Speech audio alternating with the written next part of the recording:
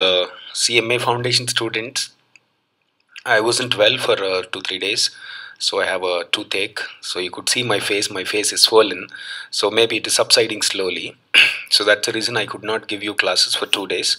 You just let's continue from uh, page number. It's in your material. There is no need of preparing a separate material because uh, it's very clear in your material. So I just rather copy paste. There's, no use. Okay, I don't need to trim the material. So you're on page number according to your uh, CMA foundation material. You're on page number 11.41. 11.41. Okay, so just go to in your uh, CMA foundation material the last lesson if you could see the last lesson 11.6 uh, types of earlier in my lecture I was talking about uh, conflicts. I said uh, when there is a difference of opinion when there is a disagreement when there is a, a difference of uh, what you call uh, um, expertise etc etc so different arguments will be there. So in any organization there is a possibility conflicts can happen between employees conflicts can happen between employer and employee conflicts can happen between two individuals. Conflicts can happen between one individual and a group of uh, people. Conflicts can happen between groups two groups like conflict can happen between two departments. Conflicts can happen between two individuals. Conflicts can happen between one group and one individual. So there's every possibility conflicts can take place either way. Okay so we had already studied the introduction yesterday. I mean in my last class i was talking about it. See causes of internal conflicts sometimes um, it's because of the uh, group recognition yeah it's because of the interdependence because every group is dependent on the other group. So obviously what happens when i depend on other group and other group doesn't support me at all? So definitely it would lead to so many issues. And uh, sometimes um, uh, power structures will be different. Sometimes status will be different. Sometimes culture you come from that also will create conflicts.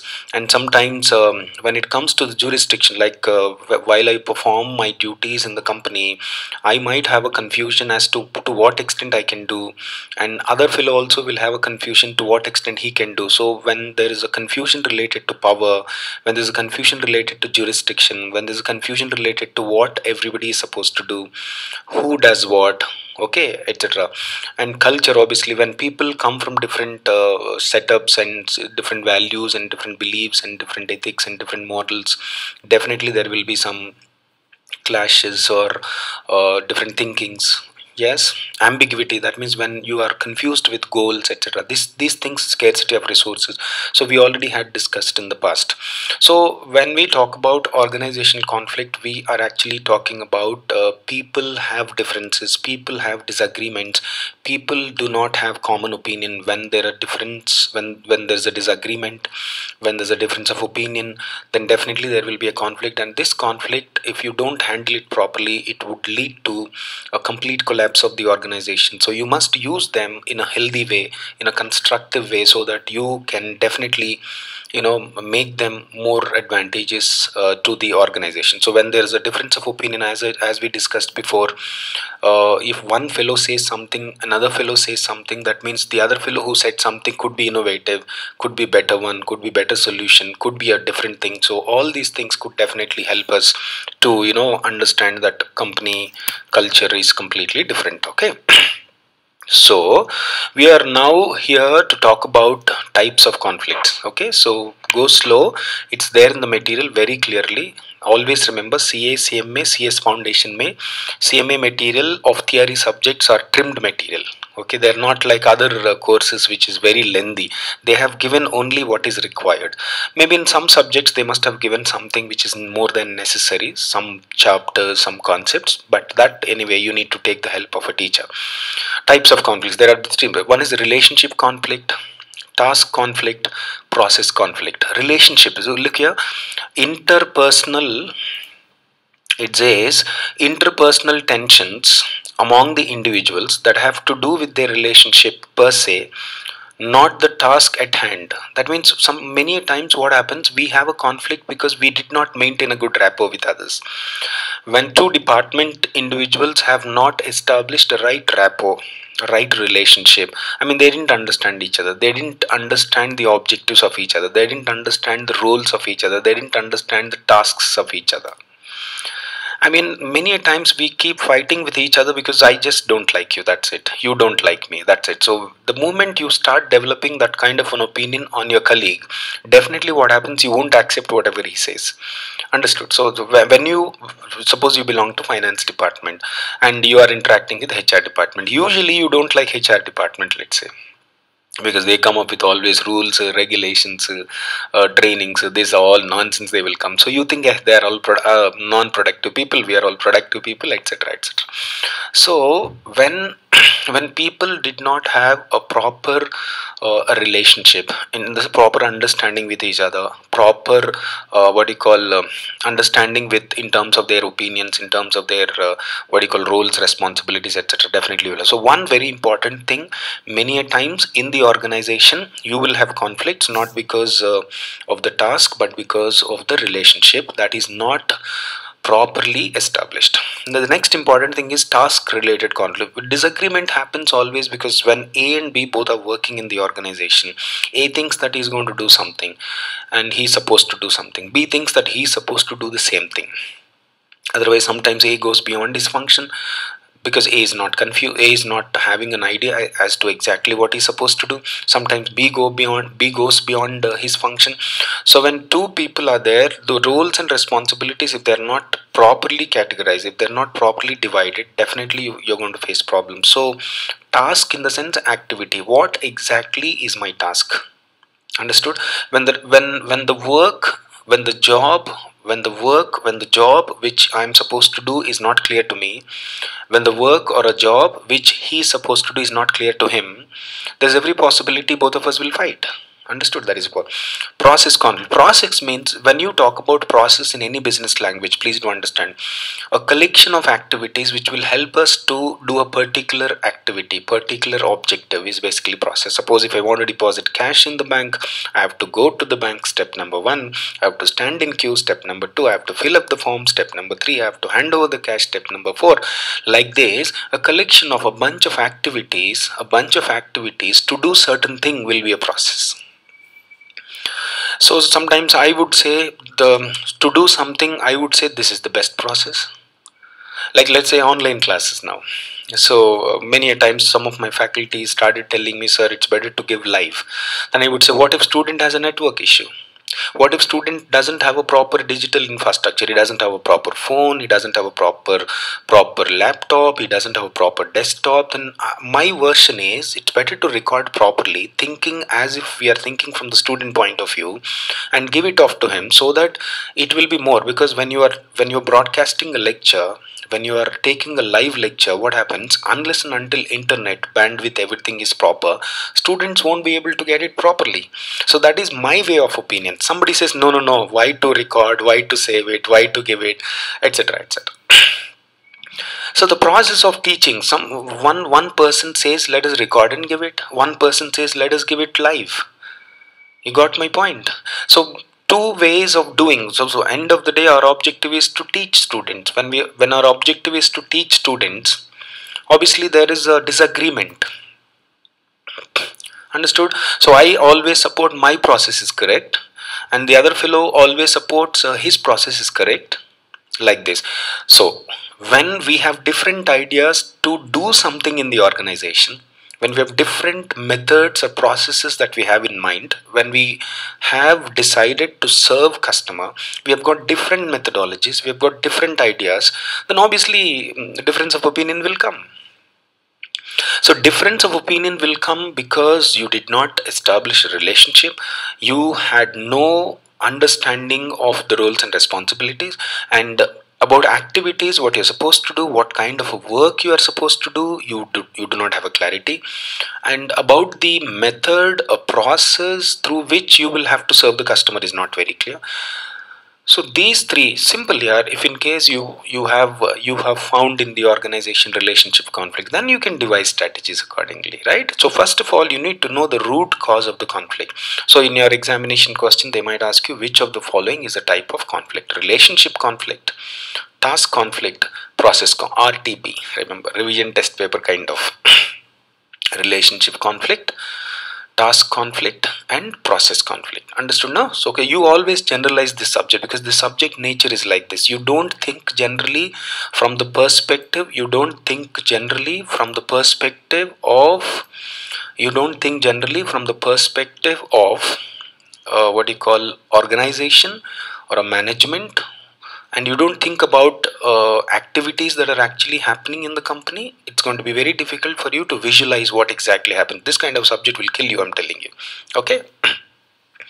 And if you have these basics you would be able to understand strategic management in the next level. All right next one. Strategies for dealing with conflicts in order so when I have a conflict called RTP, when I have a con conflict called RTP, the relationship concept, I mean relationship conflict, task conflict and process conflict, what will be, what will be the strategy, being a company, being an organization, what kind of a strategy I need to adopt?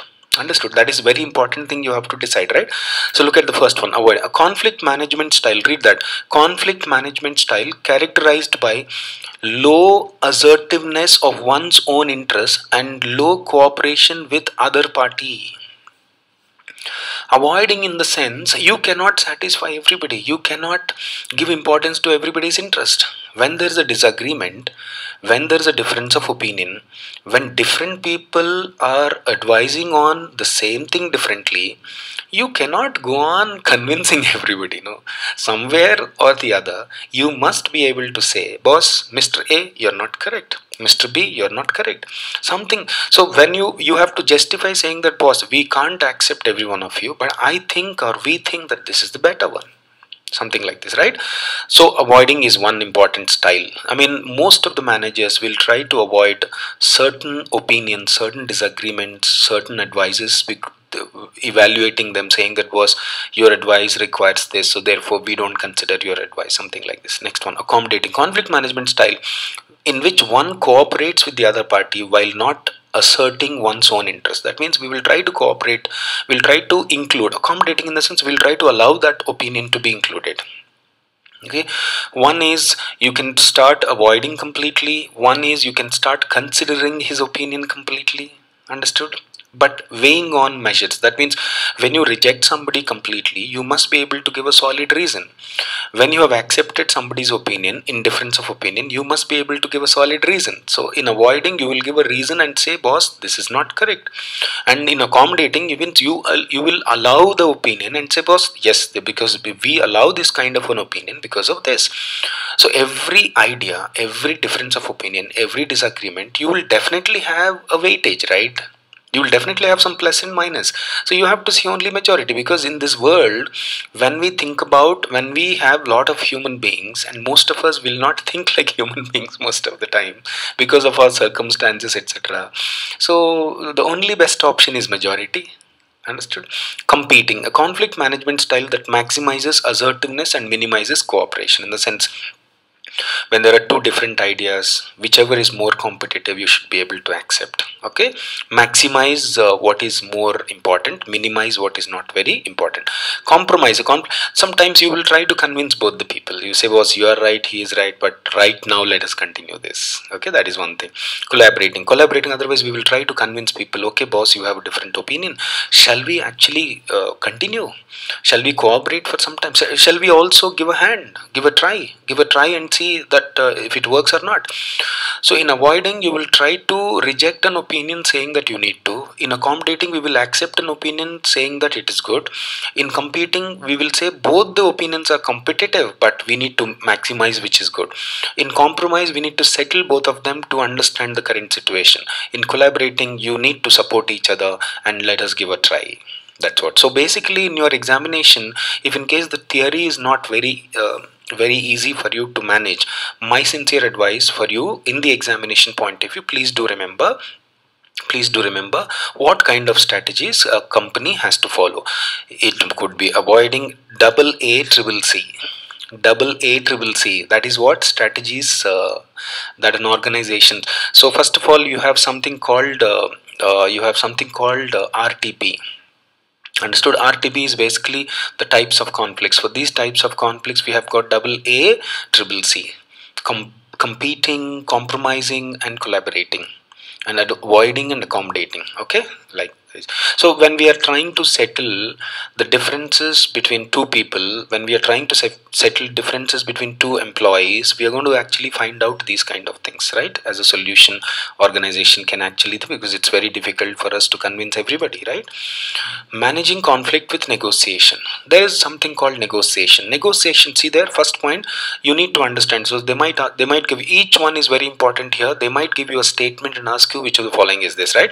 A, a decision making process among the interdependent parties a decision making process among the interdependent parties who do not share identical preferences.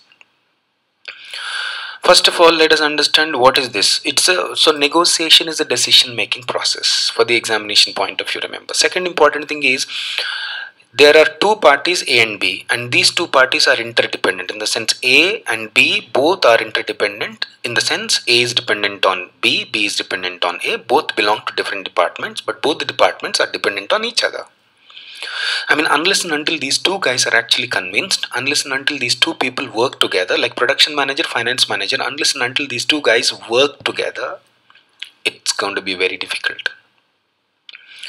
In the sense, who do not share identical preference in the sense about being a finance manager, my preference is completely different. I always think about minimizing the cost Whereas being a production manager, my preference is different. I always think of maximizing quality, maximizing production at the cost of anything.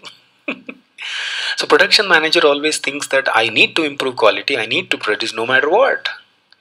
Finance manager, you will produce okay, but I know what is finance. You will unnecessarily land the company into uh, bankruptcy problems, idiot. Uh, uh, so on so. So there are two interdependent people and both the parties should work together. At the same time both the parties have different objectives. Finance manager objective is different. Production manager objective is different. Am i clear? So when when we so convincing these two people is very important right you need to be in a position to satisfy production manager who's actually striving to give quality at any cost and uh, finance manager who's actually thinking about cost cutting so that uh, the fat of the company can be actually cut off. Then only company fat of the company can be cut off in the sense um, cost cutting okay? Right. So th that is negotiation. So it's a decision making process between two people between two interdependent people who have got different objectives right? That is that sentence you remember for the sake of examination all right next one. Distributive negotiation win lose negotiation. Distributive in the sense oh somebody has to lose.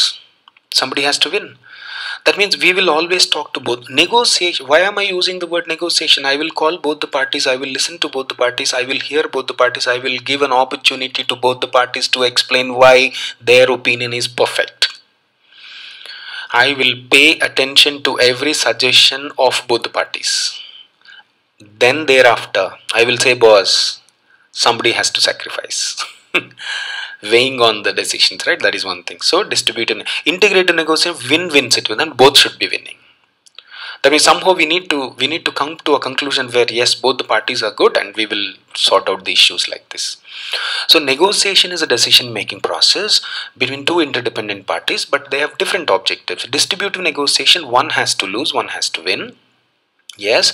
I mean simply we say see in which a fixed amount of assets divided between parties. I mean okay boss uh, your opinion is good. You take these many assets. You take these many resources. Maybe you will get less resources but you're getting something.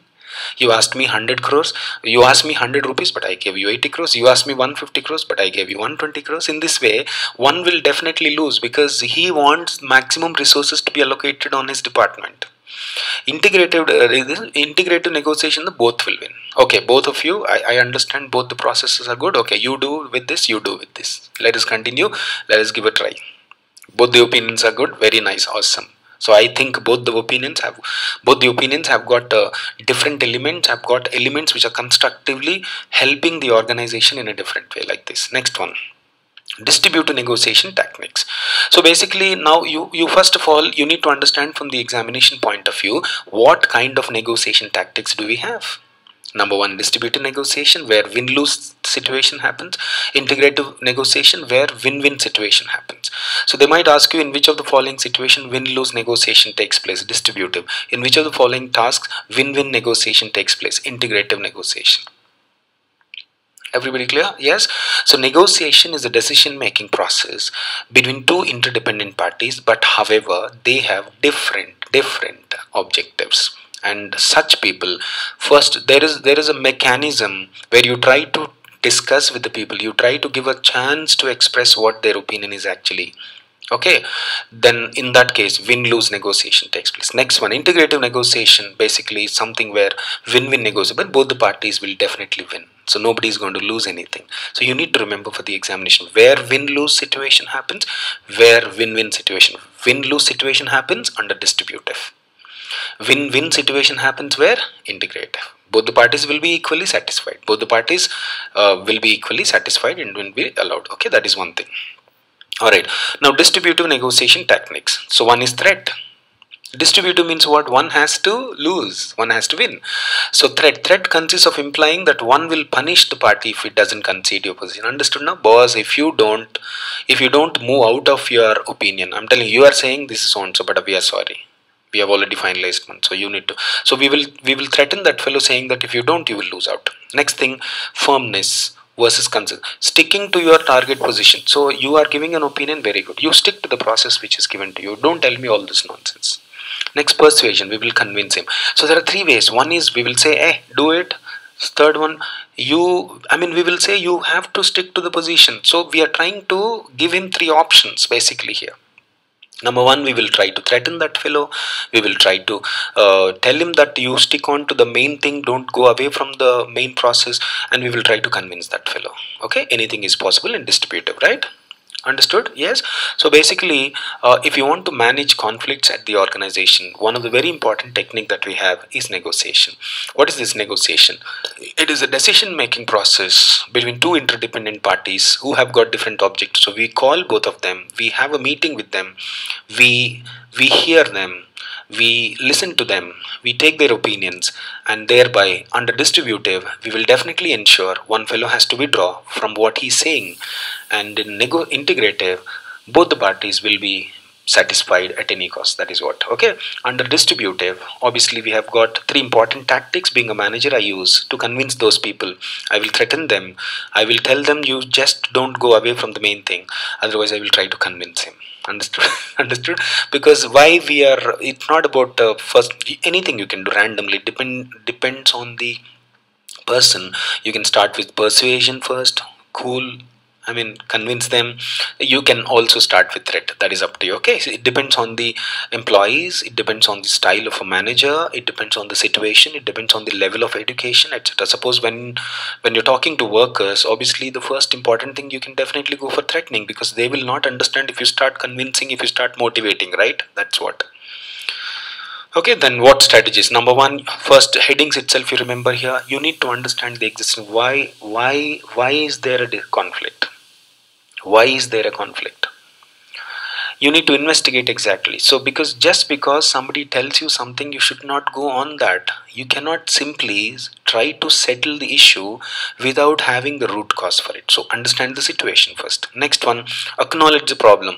Acknowledge the problem in the sense you need to tell them what this is what I mean, suppose if a person says, Sir, this is what, then you say, Okay, very nice. I understand that this is a problem. I understand this is a problem. So, first of all, find out the root cause, and the next of all, you keep telling the people whoever have raised an objection saying that yeah i understand this is a problem i understand so because everybody when he expresses when he or she expresses an opinion when he or she has a difference of opinion or a disagreement definitely there will be logical raise so then you say yeah i understand i understand that is that this is a problem like this. Is the third line you see it says he told the other just don't worry about it. It isn't that important.